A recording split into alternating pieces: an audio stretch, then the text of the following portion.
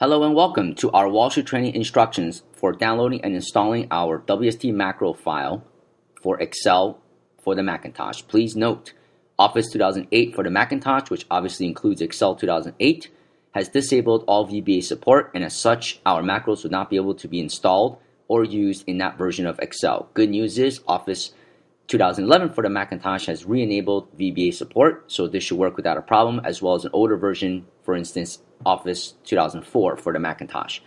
To first download our macros, go to our website, wallstreettraining.com, www.wallst-training.com.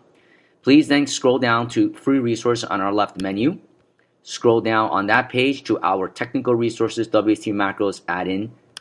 The latest version is always uploaded to our website.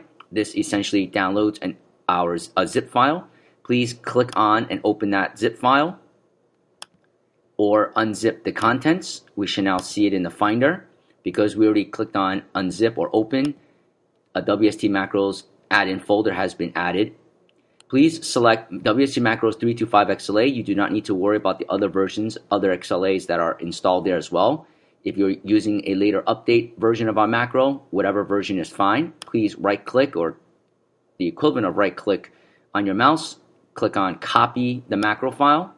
Please navigate to your Macintosh hard drive and paste that item into the Macintosh hard drive. This ensures that you never have to do this again and it's always stored and available on your Macintosh HD in case you should change or delete folders. Please then open your version of Excel. In this case, we're going to open Excel 2011 for the Macintosh. Navigate to the top menu, click on Tools, Add-ins, which shall open the add-ins dialog box. Please click on select. It is important to have previously saved the macro add-in file on your hard drive or wherever folder you choose to place it as we have already just done. Select your file, double click or click on it and hit open. Back to the add-ins dialog folder box. The WST macros 325 in this version has been checked and added. Click on OK.